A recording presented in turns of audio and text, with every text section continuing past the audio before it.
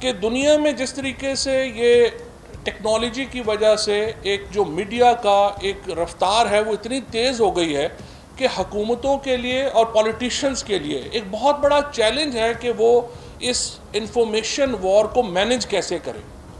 ये सिर्फ़ हमारा प्रॉब्लम नहीं है, ये एक पूरी दुनिया का इस वक्त एक प्रॉब्लम है और जो टेक्नोलॉजी डिसरप्शंस हैं पाकिस्तान के अंदर। आज से जब मैं दो ढाई साल पहले जब मैं इंफॉर्मेशन मिनिस्टर था तो मैं एक, एक जो हसाफियों के ज़्यादा था तो मैं कह रहा था कि देखिए जो टेक्नोलॉजी है वो डिसरप्ट कर देगी हमारे एग्जिस्टिंग सिस्टम को।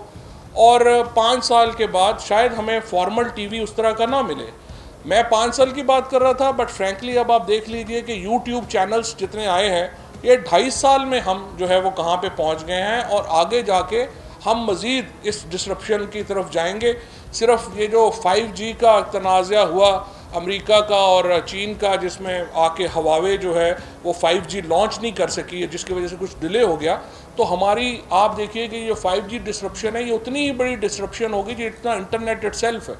और हमें अब सहाफ़ियों को स्पेशली और जो लोग मीडिया के कारोबार से वाबस्ता हैं, उनको तैयार रहना चाहिए कि इस डिसरप्शन पे।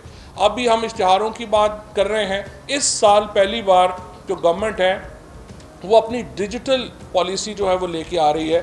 सो एडवर्टीज़मेंट का एक बजट जो है, वो डिजिटल की तरफ़ भी जाएगा।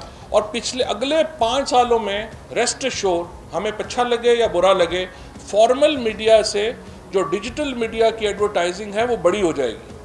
और आप, और हमें इसके लिए तैयार रहना होगा, हमें देखना होगा कि हम आगे जाएँगे तो कैसे जाएँगे।